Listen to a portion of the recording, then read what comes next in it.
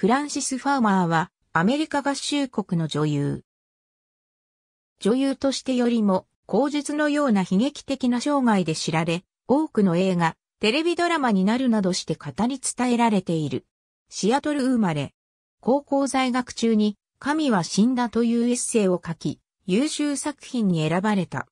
ワシントン大学で演劇を専攻、1936年、パラマウント映画のスクリーンテストに合格し、女優デビュー、大自然の外貨のヒロインを演じて注目された。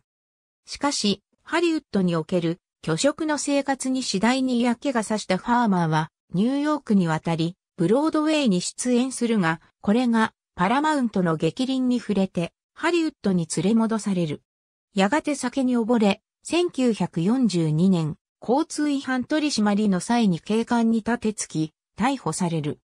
さらに、これを利用したパラマウントの差し金で、1943年に精神医療施設に強制収容され、この間、90回ものインシュリンショック療法を施され、繰り返し電気ショックを与えられたり、氷風呂に入れられるなどの荒療治を受けた。1950年に退院、1953年には法的に名誉を回復された。